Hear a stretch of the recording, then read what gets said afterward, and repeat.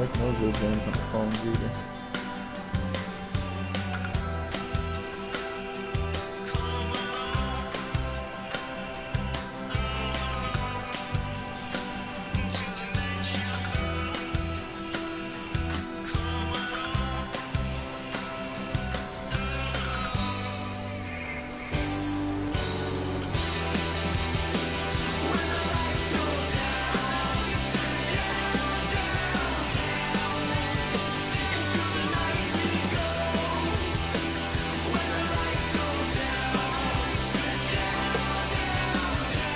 Fuck with the maid.